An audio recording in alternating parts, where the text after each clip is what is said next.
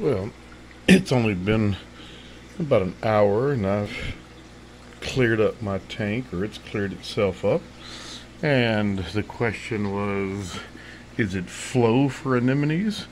Well, I've dropped my wave maker down to that level and the anemone that was working its way over has gotten closer to the flow. It's starting to bloom.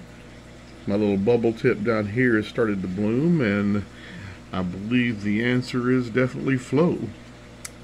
And if you haven't noticed, I think I have the fattest Blenny in existence here. He is huge. If I could get him to move, you could see his humongous belly floating out there. Uh, and the star of the tank there wants to make sure you see him. And again, if interested, I believe all of these fish came from Seven Seas Aquatics in Goodlettsville, the Rivergate Mall area.